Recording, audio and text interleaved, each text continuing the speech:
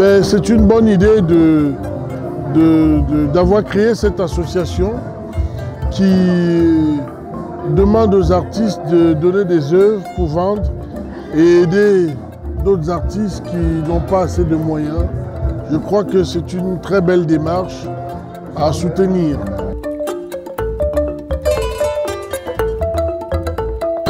Je recommande à tous les artistes africains de, de, contribuer à la collecte des, œuvres pour euh, vendre et aider les autres artistes.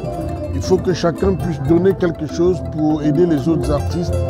Et je les invite à, à le faire, c'est soutenir tout un projet culturel sur le continent.